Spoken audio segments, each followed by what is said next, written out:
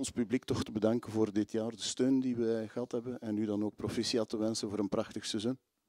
Ja, ik denk uh, dat het heel duidelijk is dat het publiek uh, met ons is meegegroeid. En uh, wat ik vandaag gezien heb, ja, dat was gewoon fantastisch. dat was ook denk ik ook een appreciatie naar de spelersgroep toe.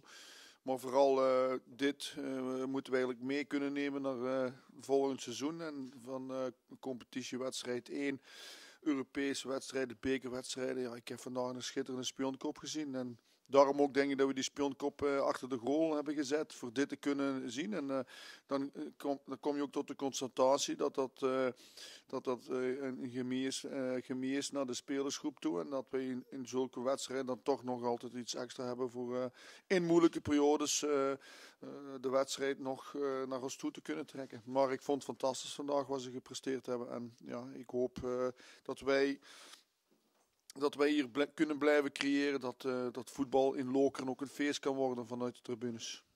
Uh, blijven creëren. Eerste helft heel goed begonnen, heel vroeg doelpunt. Dan toch eigenlijk een beetje teruggezakt. En dan komt die wissel, Neil de Pauw, Kilian. Bewust om die linkerflank toch te versterken?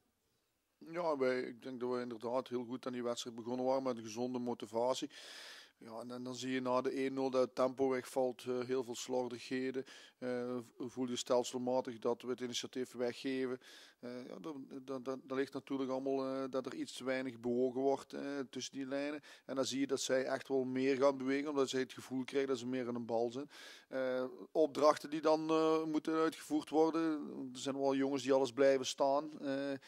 vooral vanuit onze linkse kant was er niet genoeg verdedigend uh, verdedigende uh, acties. Uh, en vooral Niel die veel te ver bleef hangen. En ja, op het moment dat Kili daar kwam te zitten, en gelukkig scoren we dan ook nog net van tevoren, ja, kregen we terug stabiliteit in het elftal.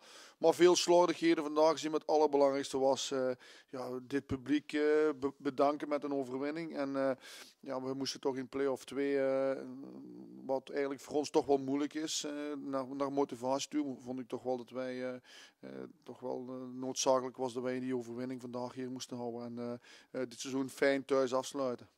Uitvallen van Benji, welke gevolgen? Nee, ik denk een trap op zijn enkel. Dus we zullen zien naar volgende week toe, maar zeker niet naar de toekomst toe.